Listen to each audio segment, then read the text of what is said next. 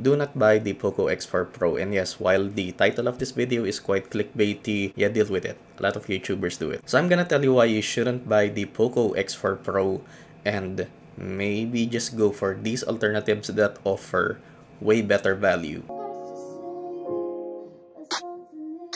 What's up mga kuya? Welcome back to the channel. So the main reason, actually a few reasons why I'm making this video. Number one is that I'm quite disappointed with the specs of the Poco X4 Pro, the spec leak. If you're a tech guy who's following Xiaomi or Poco, then you probably don't need to watch this video to know why I'm saying don't buy the Poco X4 Pro. Number two, instead of buying the Poco X4 Pro for a review, I'd much rather make this video than honestly kind of waste my money on the Poco X4 Pro. And yes, while I buy uh, phones for reviews and sell them after, yeah, just the specs alone on the Poco X4 Pro disappointed me. And number three is that I haven't posted or uploaded a smartphone related video in a while because of custom shit.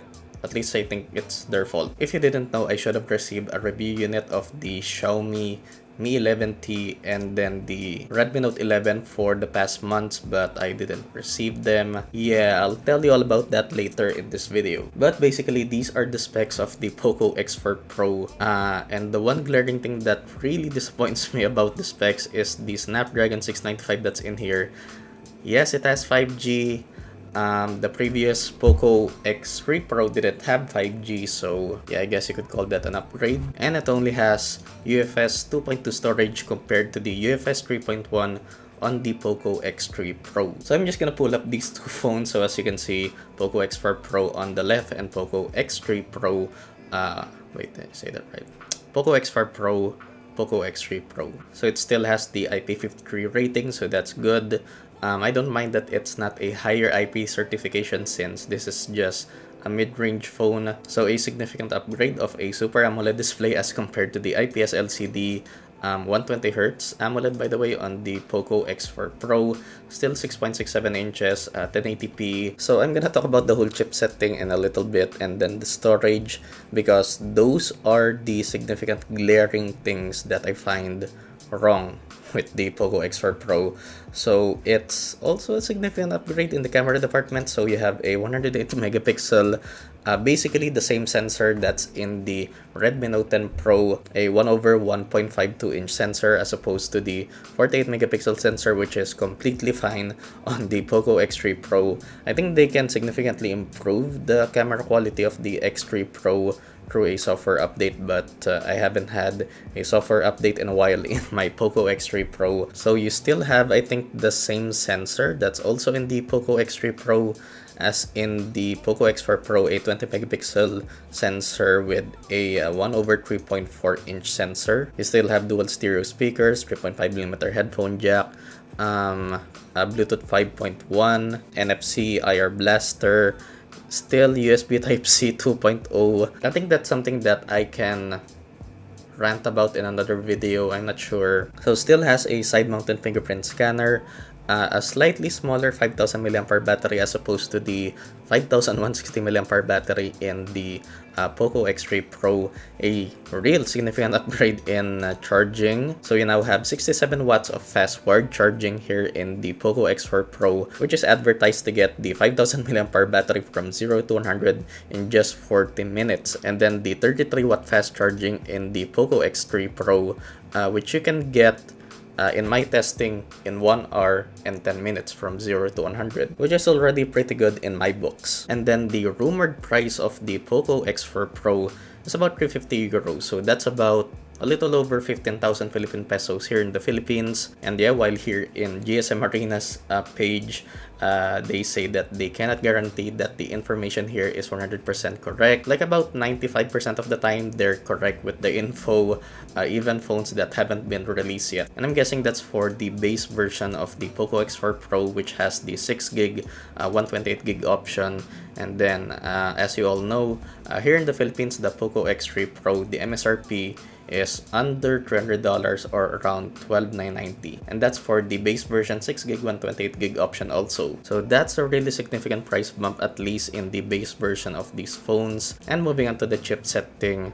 So again, the um, X4 Pro that's coming has a 695 Snapdragon 695 as opposed to the really freaking awesome uh, Snapdragon 860 on the X3 Pro. Basically in terms of performance like gaming, multitasking, all those other shits, the Poco X3 Pro will just shit.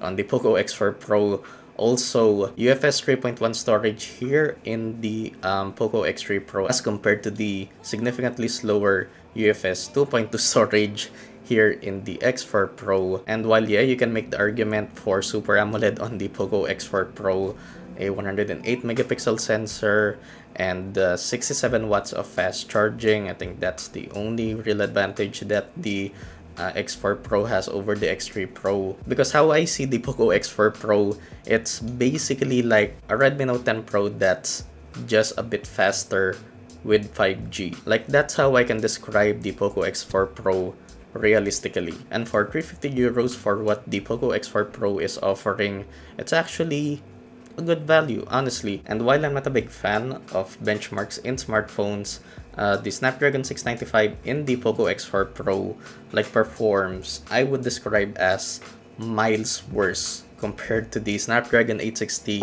in the Poco X3 Pro. So the Snapdragon 860 in the Poco X3 Pro has a score of almost 600k in Antutu and then the Snapdragon 695 has a score of 400k which is not a bad score in any way so that's like just a bit of an improvement from the performance of the Snapdragon 732G in the Redmi Note 10 Pro. And for this price of about 50 euros for the Poco X4 Pro, like I said, it's a good value. It's not a great value, but for me, it's kind of a hard sell for the Poco X4 Pro, especially with these two phones out right now, the Poco F3 and then the Poco X3 GT. Like both of these phones offer insane value as compared to the Poco X4 Pro. And just comparing the Poco X4 Pro to the Poco F3, the only real advantage that the um, Poco X4 Pro has over the Poco F3 is that it has 500 more milliamps in terms of battery capacity.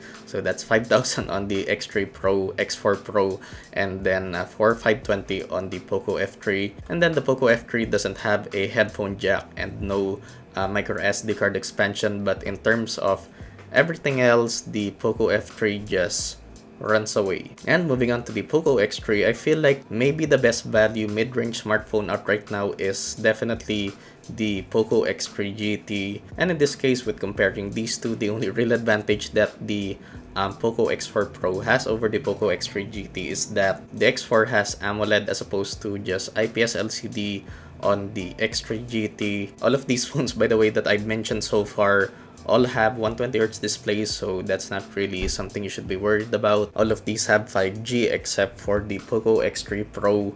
And yeah, it's really a hard sell for me to recommend the Poco X4 Pro considering these phones exist.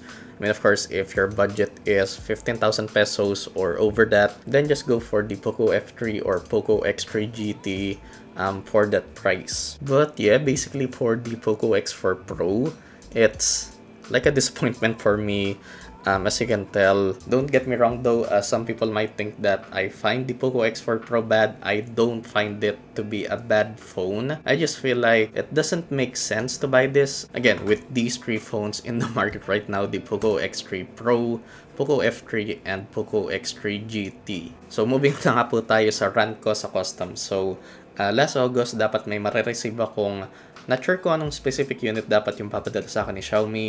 It was either a Mi 11T or Mi 11T Pro. Again, I'm not sure since I didn't receive it. I waited for it, forgot about it eventually. And then uh, recently, then kinontak ako ni Xiaomi for a review unit on the Redmi Note 11 uh, which I didn't receive. I was supposed to receive it last month and maybe just a few days after the launch of the Redmi Note 11 like the online launch event um, I received the call. I wasn't actually sure who called me, but it was regarding a package from China um, I was assuming that those were the phones or that was the phone. So they mentioned that my package had the problem with customs. I'm not sure what it was.